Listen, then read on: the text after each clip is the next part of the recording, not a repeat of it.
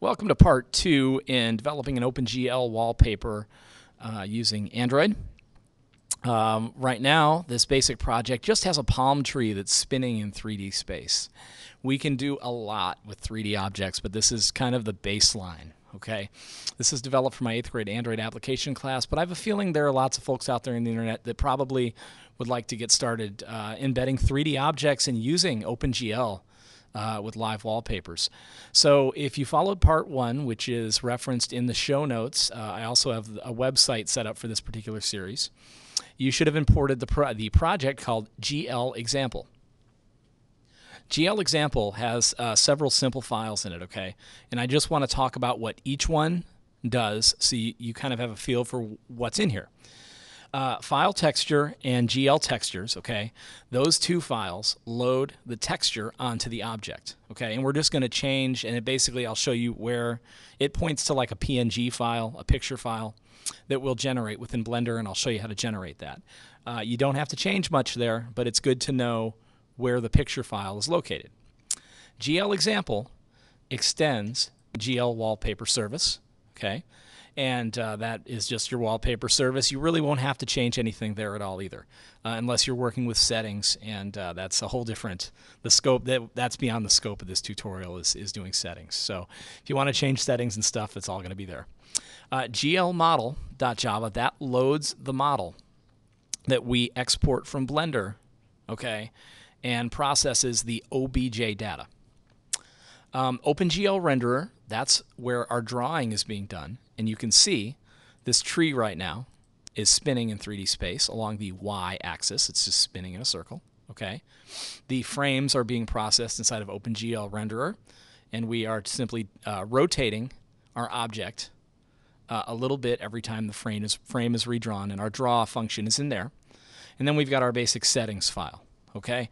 So uh, the only files we'll be really changing in this tutorial are the glmodel.java. We'll be pointing it to a new model that we create.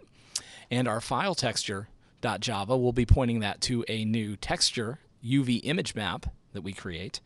And by modifying this and this, okay, we can get a whole new 3D model to show up correctly here. Um, our assets are also important, the assets folder. This is where our OBJ file lives, and we'll be generating that in the Blender. The material file is irrelevant. We don't need that, but it is there.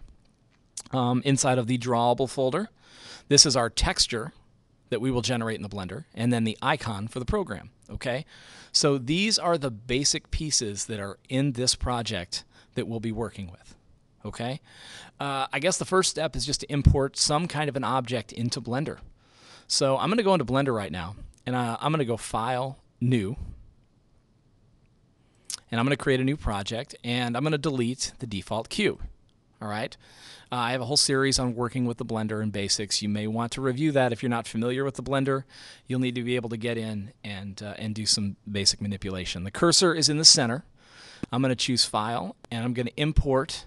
And in this case, it's an OBJ file. Any object, any way you get anything into Blender is going to be fine. In my class under Network Drive Students, BEC classes, we have a folder called Blender Resources, Blender Models. We have lots of models that uh, my students have developed over the years through various resources. Um, I'm going to go ahead and I am going to choose landscape. All right. And I'm going to find something that looks fairly, you know, reasonable. Um, I think that's the tree that I'm using right now. No, that's that's a different one. So I'm going to choose tree. Nah, I don't I don't think that's going to work. Um, let's try buildings and castle. Oh, let's take McDonald's. I like that. Let's do McDonald's. I'm going to choose McDonald's.obj. And there are lots of resources on the internet, okay, for uh, developing and, and bringing in models. You can buy commercial licenses to redistribute models, however you want to do it. So here I've got this McDonald's image, okay, that I'm going to use.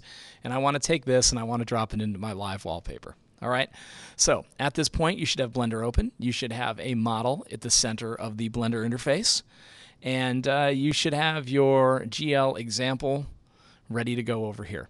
When we have all this set up, you're ready for part three. And in part three, we're going to go into the Blender and we're going to process this model so that it works with our project.